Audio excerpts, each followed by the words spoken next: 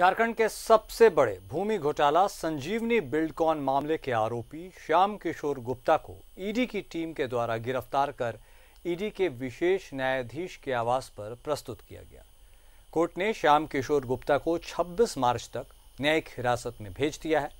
श्याम किशोर गुप्ता को प्रस्तुत किए जाने के दौरान सुरक्षा काफ़ी कड़ी रखी गई थी।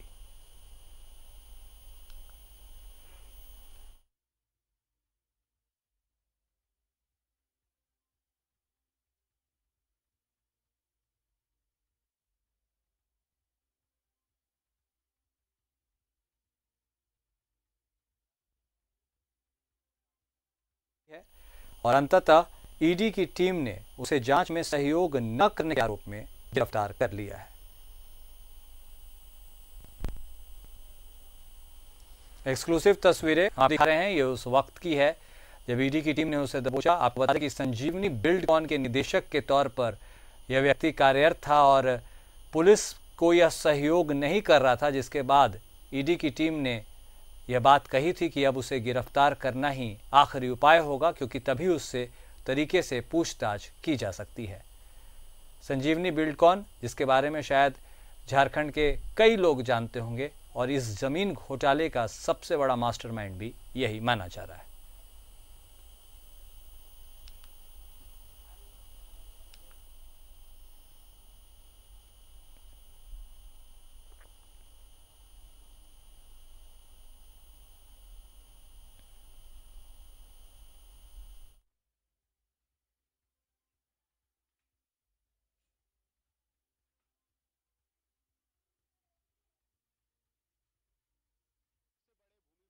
मामले के आरोपी श्याम किशोर गुप्ता को ईडी की विशेष अदालत ने 26 तारीख तक न्यायिक हिरासत में भेजने का आदेश दिया है और ईडी की विशेष टीम के द्वारा संजीवनी बिल्डकॉन ज़मीन घोटाला झारखंड का सबसे बड़ा ज़मीन घोटाला मामला है।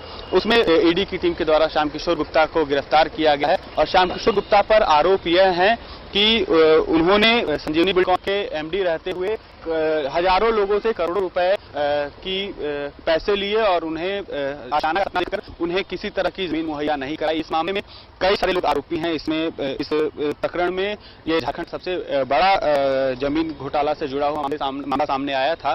जिसमें श्याम किशोर गुप्ता, अनामिका नंदी, अनिता नंदी और जेडी नंदी, जो कि संजीवनी बुल्डकॉन के एमडी रहे थे और इस पूरे प्रकरण के मास्टरमाइंड माने जाते हैं, उन्हें भी आरोपी बनाया गया है और ईडी के द्वारा अब इस केस को टेकअप करने के बाद इस मामले में पहली गिरफ्तारी की गई है और कोर्ट के द्वारा 26 तारीख तक श्याम किशोर गुप्ता को न्यायिक हिरासत में भेजे जाने का आदेश दिया गया है, लेकिन सारी चीज़ों के बीच सवाल ये उठता है कि छोटी मछलियों को तो पकड़ने में ईडी कामयाब रही है लेकिन इस इस पूरे प्रकरण के मास्टरमाइंड जेडी नंदी तक ईडी का फंदा कब तक पहुंचेगा? अपने सहयोगी पवन के साथ विनीत उपाध्याय, न्यूज़ इलेवन भारत, रांची।